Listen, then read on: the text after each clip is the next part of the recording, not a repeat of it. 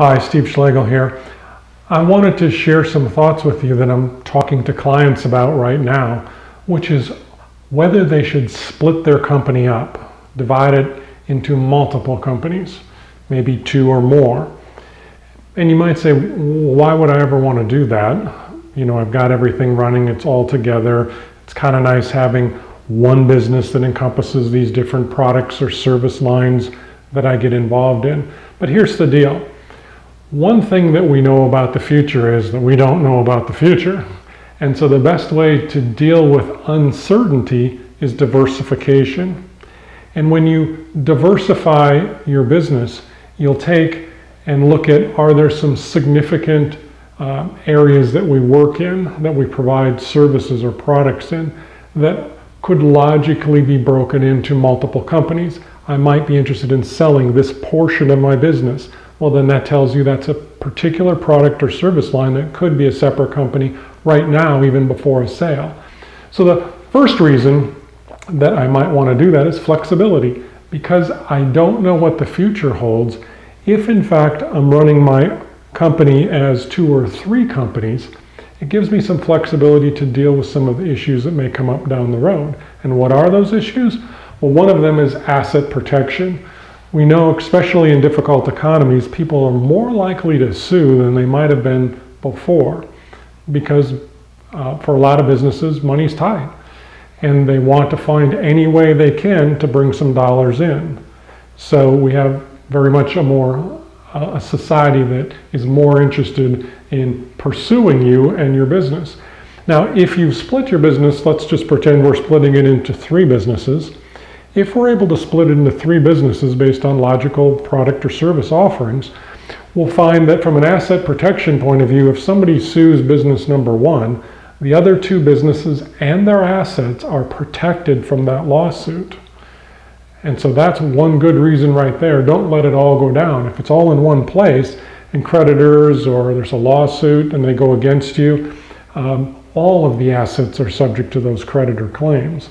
You presumably formed a corporation or an LLC to try and shield your personal assets from claims. But what about business claims? Business claims are going to go against the business itself and they're not protected. And so by splitting out and having various businesses, you'll find that you have a better level of asset protection. Then second, when we're looking at what our opportunities are down the road, if you you know, you're likely either going to sell your business or you're going to pass it on to a family member through your estate after you die. But most people end up selling their business at one point.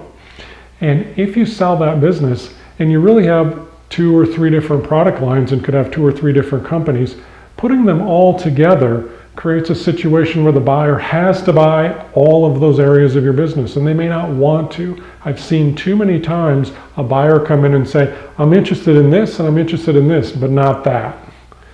Um, so you create some flexibility. If they want it all, they can buy all three. But if they don't want it all, then they can buy the portions that they're really interested in and at least you'll get the sale done. So it creates some flexibility on a sale and part of that, part of making that happen, is having separate books and records. Now you think about it, if I come in and you've got those three product or service lines in one business, and I am a buyer looking to buy it, and I say I want these two, but not that third one, you're going to have to try to break your books apart going back. And usually a buyer is going to want to look at the last five years, and they're going to want to see how profitable those two business lines were without the third one in there. And however you try to construct those, I, as the buyer, am not going to believe what you did because I'll assume that you stuck more expenses on that third company that I'm not buying to make the first two look more profitable to me so that I would pay you more. So I distrust any information that you give me, which makes it harder to get a sale done. But if I have separate books and records for each of the three companies, then it becomes very easy to present that information. It's very much more believable. And I've worked through this situation many times in real life, and that's how it works. So you create more flexibility for yourself, whether you're dealing with a sale, whether you're passing assets on to your family, how you want to divide it up, whether you're worried about asset protection, and you should be, to go ahead and take a look at that. Now that can be a really big decision in some cases. So you're going to want to make sure that all of your advisors are on board with you and agree that this is the road for you to go down. But I encourage you to think about it because with the uncertainty of the future, let's be flexible and keep the maximum number of options open for us.